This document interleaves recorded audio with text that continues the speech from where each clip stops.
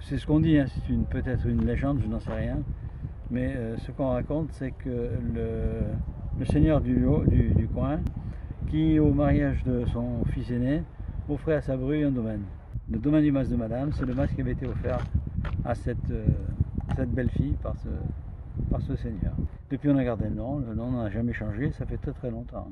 C'est un vieux domaine d'ailleurs, puisque euh, il doit peut-être probablement remonter à l'époque gallo-romaine, puisque sur une certaine parcelle d'ici, il y a une nécropole romaine.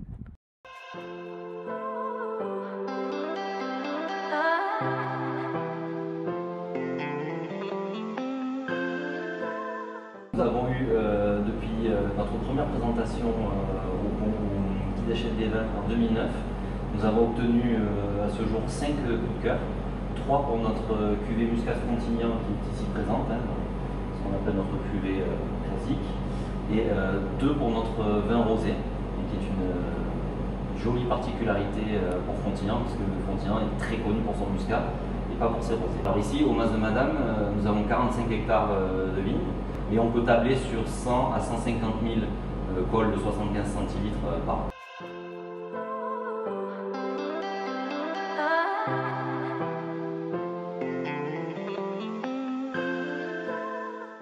C'est malheureusement très variable parce que j'aimerais plus de régularité, mais le, le climat et l'âge de certaines de nos vignes font qu'on a de, grosses variations en termes de nombre de cols. Pour fixer les choses, il y a 25 ans, on commençait le vendange à la Saint-Louis ici, c'est-à-dire euh, vers la fin août, hein, le 25 août. Et puis euh, les choses ont changé, à tel point que l'année dernière, nous avons commencé à vendanger le 29 juillet. Donc c'est pratiquement avec un mois de décalage. Or, très paradoxalement, cette année, on revient à un terme plus ancien, puisque euh, nous, avons vendangé à partir du 10 août ce, que nous faisions il y a encore euh, une dizaine d'années.